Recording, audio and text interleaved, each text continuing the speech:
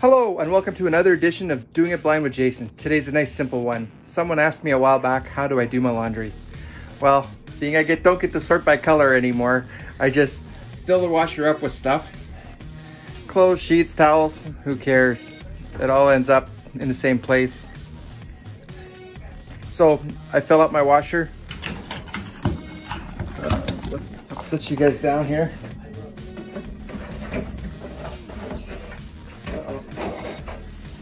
I find a laundry soap container with laundry in it, or with soap in it, sorry.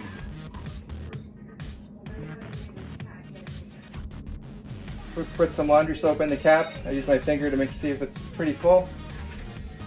Put it over the the drum of the washing machine. Dump it in. Put the cap on. And put it back on the same shelf where I always put it. Shoo, Spin you around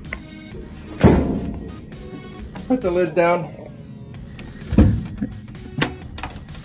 And see here, I've got this little sticker or orange touchy thing put on there.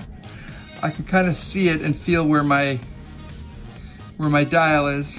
And then touching the, the machine, I can feel kind of where the paint is or the enamel for the actual settings. So I line it up as close as I can and pull it. There you go. And we're lucky because today I've already got stuff thrown in the dryer for my last load of wash. I close the door and here too, I've got a sticker right here. It's like a little bump sticker and then I got one on the machine itself. I just line those up, go to the other side and push the button. And there we go, that's how I do my laundry. And I fold it by feel.